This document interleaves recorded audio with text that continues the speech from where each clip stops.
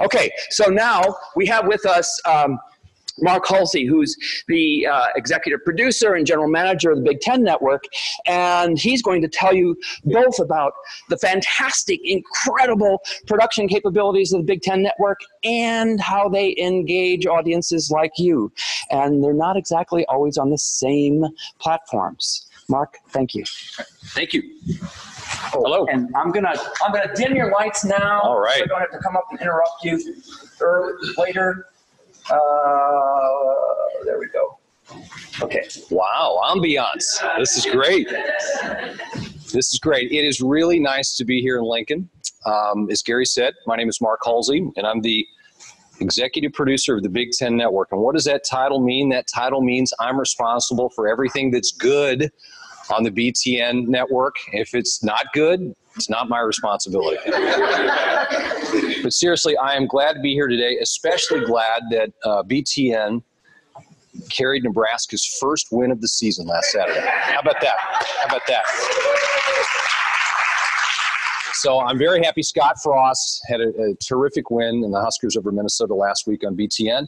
And I'm pretty confident that Nebraska is going to have their second consecutive win this Saturday as we televise on BTN. And also, we have BTN volleyball coming up on Saturday as well, which is great. So, again, it's really great to be here. Um, I want to give you a quick overview of BTN before um, I get into the particulars on how we're changing the culture at BTN, and we're no longer just a linear TV network. We are a content company, and that's something that is, is an exciting evolution on BTN. We launched the network in September of 2007. And for those that remember when we launched BTN, it was controversial. You know, the, the games in the Big Ten used to be on ESPN and other platforms. And this was one of the first collegiate sports television networks. And it was not easy at the beginning. We had challenges in gaining distribution, and I'll talk about that through my presentation. That's the key to success in our industry is distribution. We need to get our content, which is very valuable, out to the largest number of people possible. And and it's it's been good. After the initial challenges in the first couple of years, the power of the Big Ten brand and the power of live sports. You'll hear me say this in the next half hour. Live sports is the best reality television going today. you are not going to watch the Nebraska Bethune Cookman game on tape on Monday. You want to watch it live. And that's the advantage that I think live sports have. Because right now in the traditional cable bundle, sports and news drive the engine. And that's something that I, I, hope does not change, and I don't think it will because live sports is the key to that success. So we're available on all the major cable and satellite distributors, including DirecTV, Comcast, Cox is a big distributor in the state of Nebraska. And also, we're available on a lot of these OTT platforms. And that's a real growing trend. As people, as their viewer habits change, and they decide that they might not want to, to still have that cable bundle, they can go to the OTT platform, and many still carry BTN, and many still carry live sports. So that's an area that has grown tremendously over the past year. We're a network that's primarily fueled by the live events. We have a lot of them. We have 530 live events a year on BTN. We, we call the oxygen to our network the football and the basketball games. We have 44 football games and 187 basketball games on BTN throughout the year. But we have other sports that generate very high viewership. And you know, since I'm here in Lincoln, uh, volleyball is a huge sport for BTN. I know it's very popular in the state of Nebraska. Wrestling is very popular. We have wrestling and we have volleyball live events that outrate men's basketball from time to time. And it's growing and, and continuously being more popular. And I think, you know, the Big Ten's fortunate because volleyball and wrestling are very popular sports and they're very successful at it, which really helps. And then finally, this is the coolest thing. I've got a great job. Don't get me wrong. I love my job. The coolest part about the job are these 1,300 live stream events on BTN Plus. And the reason why is because every single one of those events is produced by students. They're produced by students at the University of Nebraska and all 14 of our member institutions. And it is the greatest thing ever to see all these people that have come through our doors in Chicago who have streamed these events since the network started, and now they're working at ESPN, they're working at Fox, they're working at the Big Ten Network, and they started at at BTN working on these streamed events. We have a young lady that went to Rutgers who now is on the air at NBC Sports Philadelphia. She was the sideline reporter for soccer at Rutgers. She got her start. She cut her teeth. She learned how to how, how the right way to do it. And to me, it is it's the greatest. And also, what we do is we take the best and brightest from all of our 14 member institutions, and we have a program called BTN Now. It's a network operations workshop. We bring them all to Chicago. We bring usually 15 to 20 people, all the great people that did all the hard work during the season. They get to live in Chicago in the summer, which is incredible. And they learn how to be a technician to do live events. They learn how to be a technical director, run audio, run camera. And our success rate is at about 75%. The people that go through the program, that come to Chicago, that learn how to do these live events, they are now working on a lot of the events that we cover. They're also full time staff members at BTN. We also have full time staff members that work at ESPN as well. So to me, I of all the cool things I get to do at my job, that is one of the greatest to see these people come through the doors and become successes and get that first job out of college, which was which is always the hardest job to get. So this is a mobile conference. So we embrace mobile. And I am multitasking. I'm watching our network right now to make sure everything goes right while I give this presentation. And we were one of the first collegiate sports. In fact, we were the first collegiate sports network to understand that we have to go where you are. In fact, this is BTN Student U right now. It's great timing. This is live. This is an event that was carried by students. So we understand that you might not be glued to your television 24 7. You're out and about. We need to get, we need to bring the content where you are, and we need to bring it to your phones. So we, we developed this app, BTN to Go. We had 6 million downloads since the 2011 launch which is great. And it's a testament to the product, it's a testament to live events, which is the key to success. Um, and it's really been interesting to see how the viewership has changed since the launch in 2007. Now we're about 70% mobile. So the people that do view the content, if they're not in their homes, 70% are viewing. In fact, right now, this Indiana Ohio State soccer game, uh, they're viewing it on their phones. So it's been really interesting to see how things have changed original programming. This has completely changed in the last several years of BTN. So how it would work before is our producers, in fact, I'm really proud of, of a show that we produced called The Journey. And it's our documentary style show. It, it's kind of hard, if, if anybody, and I'm, I'm sure primarily there are sports fans in the audience, there's a show on HBO called Hard Knocks, which is a great show. It focuses on the NFL. We're hard knocks with cleaner language. we focus on these stories, these tremendous stories, and I'm going to share one here shortly from our student athletes. It's shot beautifully. It's a documentary style show. And here was the process and how this show was put on linear television. We would send a crew out to the respective stadium to shoot on Saturday. We would get that footage shipped back to Chicago, and we would, we would have editors that would work 24 7 for three straight days, grinding away and getting that footage edited for a linear telecast that would debut on Wednesday. So then we realized that we have a tremendous amount of content that nobody ever sees. And also, we have a tremendous amount of people watching on our phones and not really waiting necessarily for the linear debut. So we found a way to balance both protect the linear viewership, but then get clips out online, distribute them through our BTN social platforms, and get that out on people's phones and get those get this information out of people's tablets. So we have all this all this footage that was on the cutting room floor that never aired. So what we do now is we get everything back and we take the best footage that we can find quickly and we produce a quick 30 second piece that's sent out on social on Mondays and we call it Slow Mo Mondays. It's a very simple thing. Here's an example.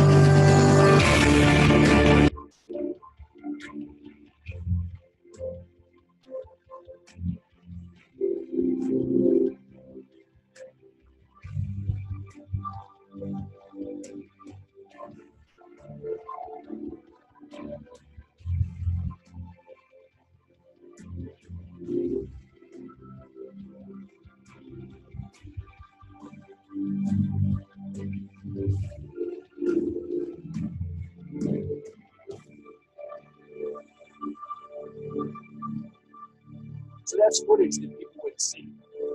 That's footage that was sat in an editor's bay that didn't necessarily see the light of day. So now we do on Mondays, we distribute that on social, help promote the linear view on, on Wednesday.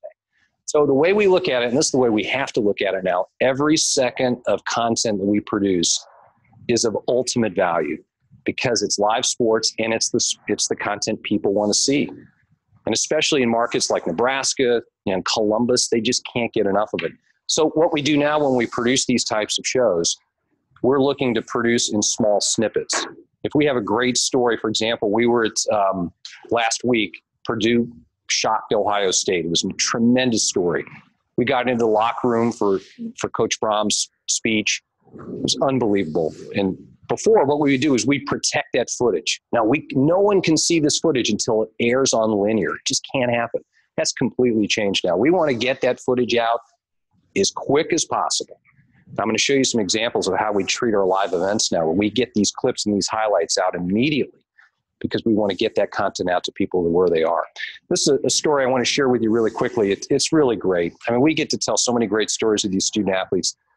Melvin Keihn, uh, and a tremendous story. He um, he grew up in Liberia, on the West African coast during the Liberian Civil War. Some of the most challenging conditions you could ever imagine to grow up in. So his father received a visa to go to the United States.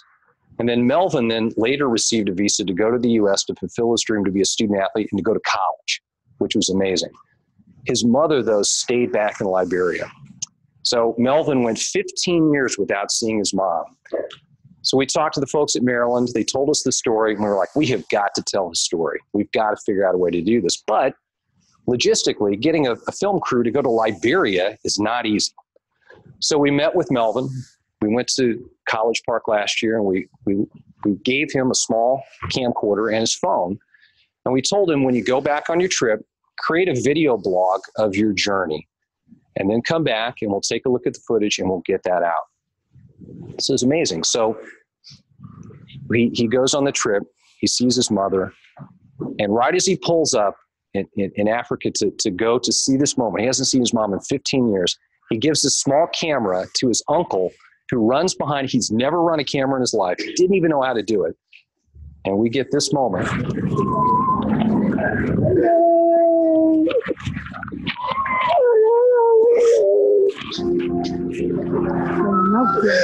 So this moment, which was incredible, to see this reunion, this piece of footage, again in Chicago, nobody knew it was going to happen. Nobody had any idea that this shot was going to happen.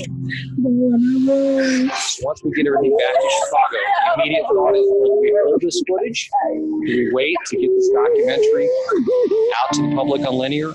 Or do we get this clip posted immediately? So that completely changed the way we think of it. So this this show, which was nominated for a national Emmy, called The Reason I Play, our folks in Chicago did a great job with it. What we did is we created digital documentary, a five-part series. Everybody, hundreds of thousands of people viewed this before the linear debut, but our linear viewership was higher than it was ever ever would have been before because of the promotion that we got on social media.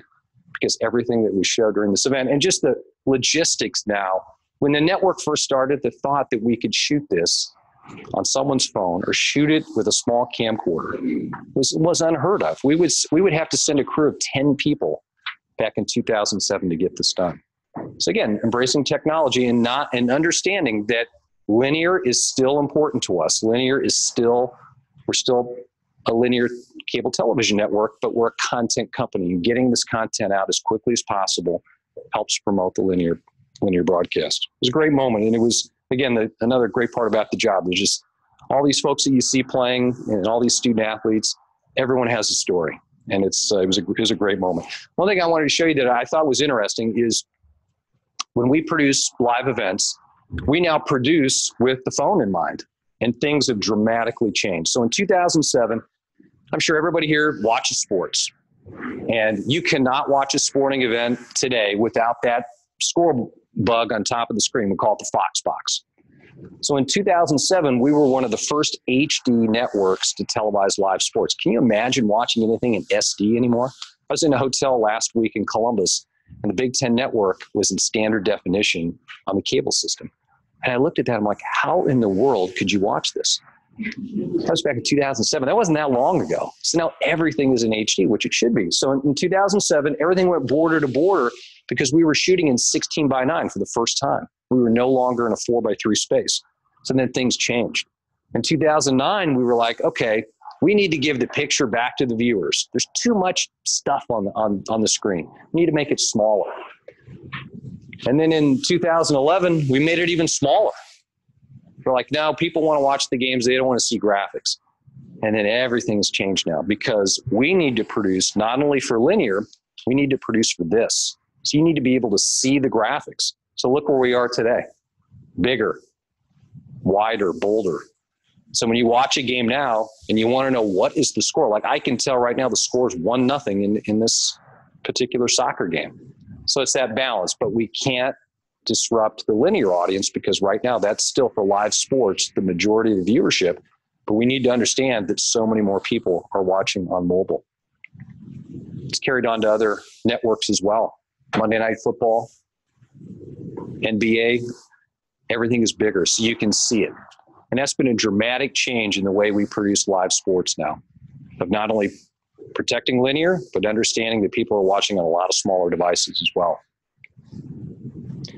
This is one of the coolest things that we do from a technological standpoint automated highlights.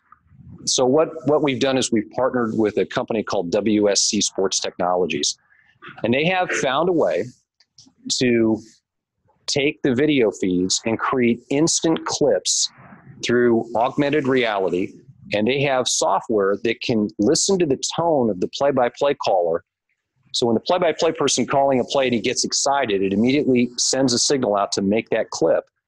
And any clip that we have on a, on a game is immediately sent out on social. So we have a team of editors back before we partnered with WSC. They were physically making these clips and doing these ins and outs. So I'll show you this example here. So this is in an editor's workstation. This is a game between Michigan State and Penn State. If you look over here to the top right, you'll see that clips are being generated automatically without anyone doing anything. Those clips then are processed and then pushed out immediately after the play.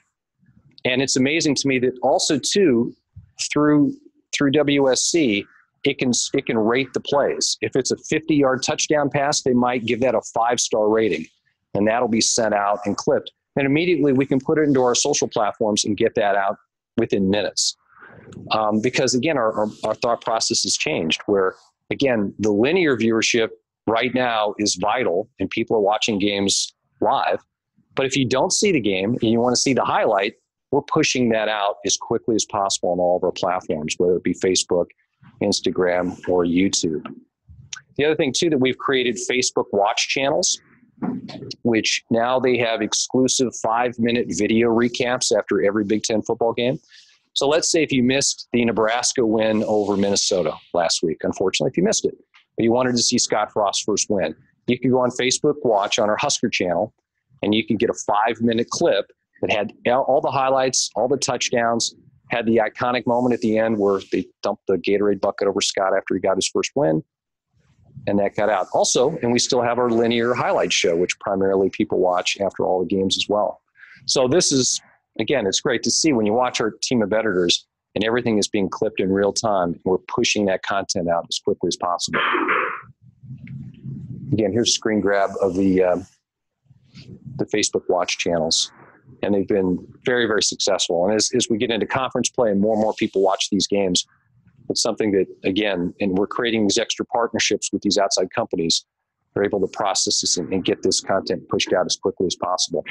This is another program that I think is, has been great for us, the MVP program. And it probably speaks to a lot of the students that are in attendance today. Of and I'll, I'll t- I'm, I look forward to taking questions at the end of the presentation on you know where where are people hiring you know, I get so many people, so many people to call and want to work at BTN, and I think it's great.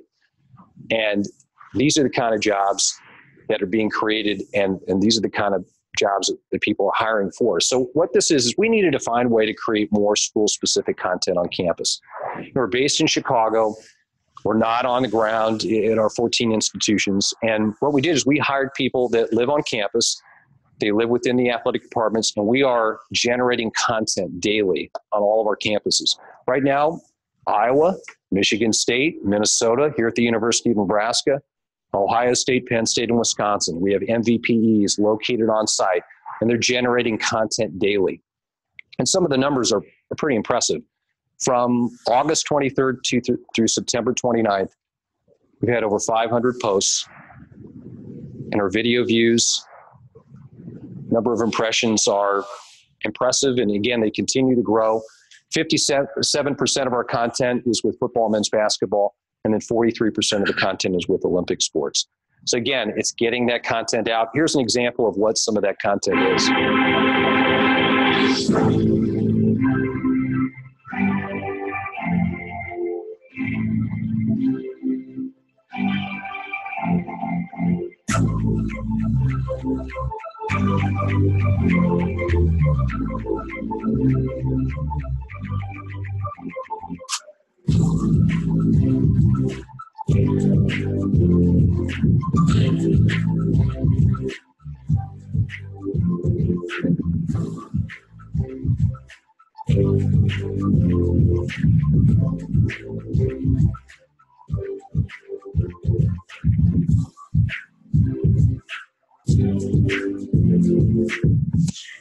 A lot of behind the scenes footage, a lot of content also that can be used on our linear shows as well.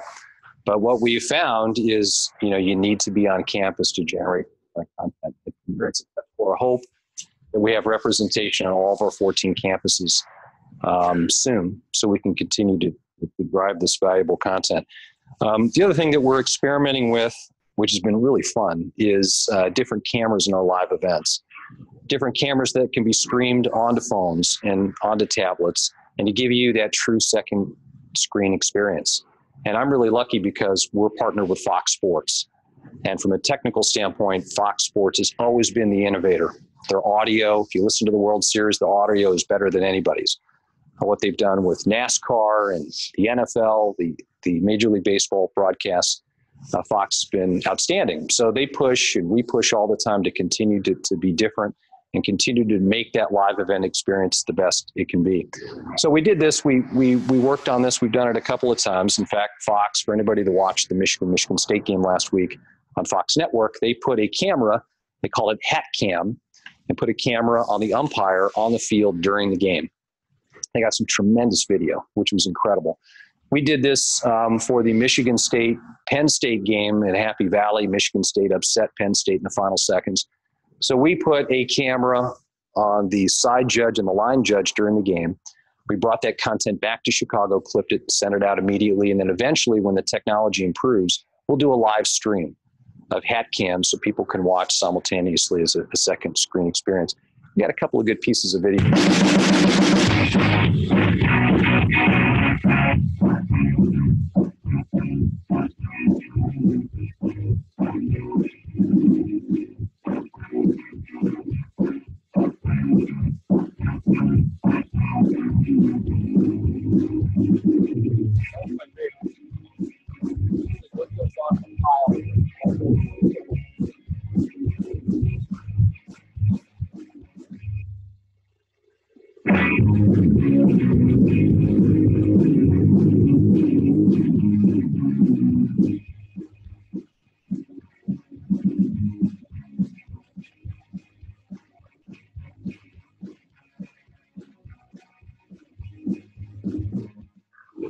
So as the technology improves, we expect to do a lot, a lot of more, a lot more of that that type of thing. Because again, you know, four or five years ago, the thought of putting a camera on a cap during a live football game was unheard of.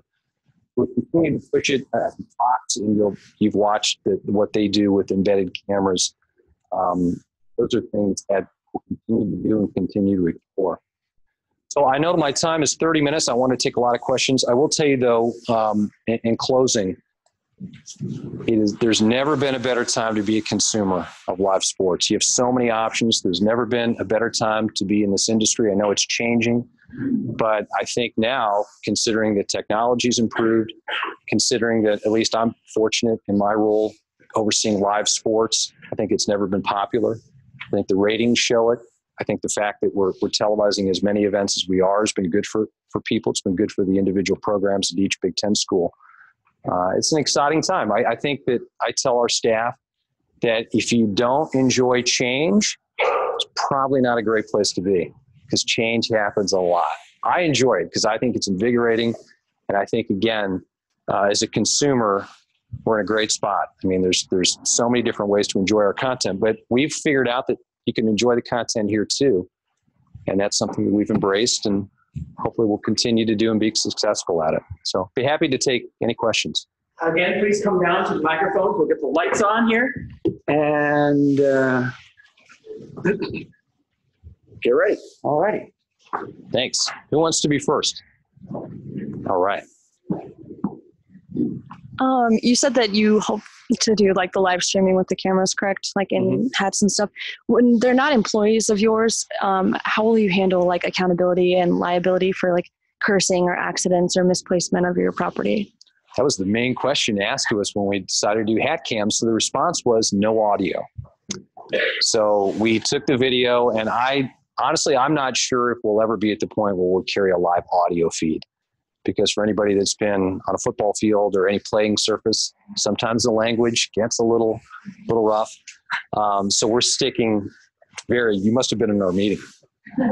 Because we, we also talked to the conference. Before we get approval to do these kind of things we want to make sure the big ten conference is is uh, comfortable with it. You know we're not going to do anything that unless they uh, have full approval. But that's how we got around this. We just went video only anything else Uh, quick one for me. Uh, yes a huge cultural change uh, moving to mobile. Mhm. How do you how do you move an organization that is that did not grow up, you know, in mobile? How do you how do you move it to mobile? That's a good question. I'm really lucky that we have a lot of employees at Big, Big Ten who are mobile users and came from that, and they're right out of college. I mean, we have a dynamic work, workforce. It's terrific. I, I have. I'm fortunate that I have my 15 year old son at home, which he, he he's ahead of every trend, and he helps me. But our staff helps me. And again, I I think that's something our culture at BTN is a very fresh approach. And I think because we have so many recent college graduates that are in our workforce, they understand where view, their viewers are. And I think it's been it's been tremendous. And, and again, for us, we, we have to remain flexible. We have to understand that you can't be stuck in your ways. Um, and then in turn, we, we've had some employees that, you know, who came from from networks, legacy networks, and it's been a little harder for them to change because they just don't understand that things are different um, I embrace change, and I think most of our staff has. has and you know, had pushing to mobile and, and and understanding that we produce our, our live content differently right now hasn't been as big a challenge as I thought it would be. I think it's primarily just because of the workforce that we have. It's been great.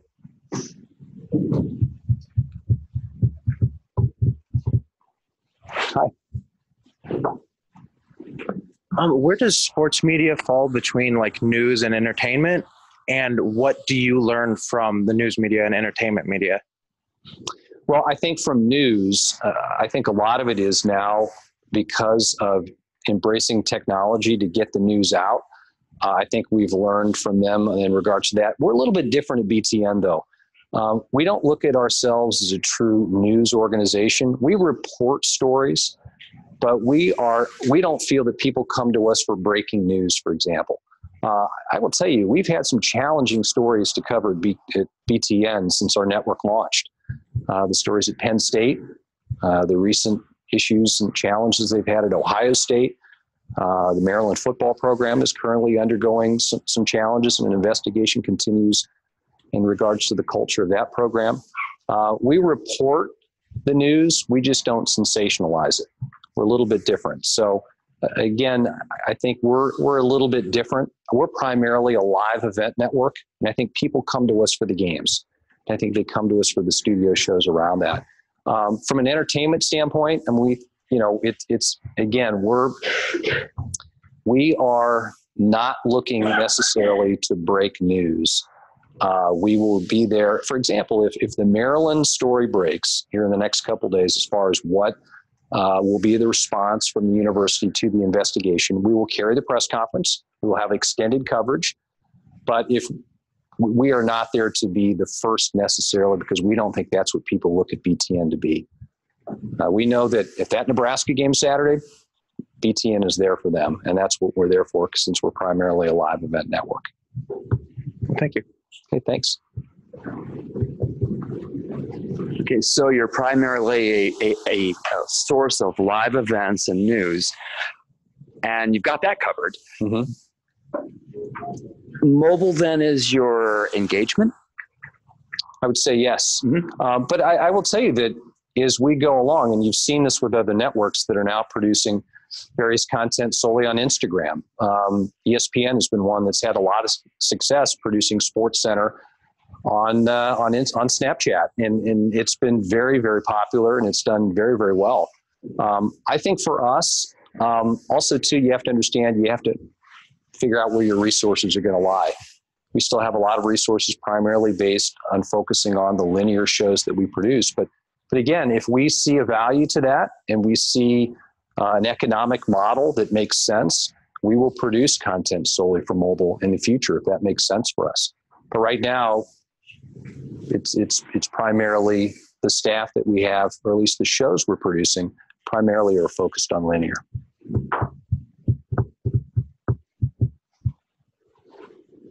I, if I were you, I think I'd start lining up for those internships. Uh, let's thank Mark. Okay.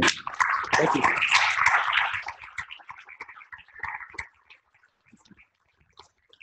Our next session starts travel. I mean, it's scheduled to start at 11:15. We're going. We may end up rolling a minute or two earlier, but I need to tell you, it's a little going to be a little special because the uh, speaker for our next session, Emily Withrow, um, is home violently ill with salmonella and uh, therefore she's wisely not here. Um, instead, her colleague at Quartz, who also creates bots and does uh, some great teaching and videos on how to create bots, will be coming to us via Zoom, and we'll be watching him on the big screen. Um, he is he is also excellent. John Keefe. He uh, is is an excellent bot creator and he'll be telling us how to do that. So that will be on the screen. Uh, we're scheduled to go at 11:15 on that one, so don't be late. Okay. Thanks. Thank you. Thanks, Mark. Thank you.